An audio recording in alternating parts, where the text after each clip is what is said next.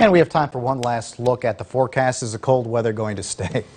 Yeah, it'll be around tomorrow morning as you wake up. So temperatures in the 30s uh, south of I-90, so some frost again. But 65 for the afternoon, sunny.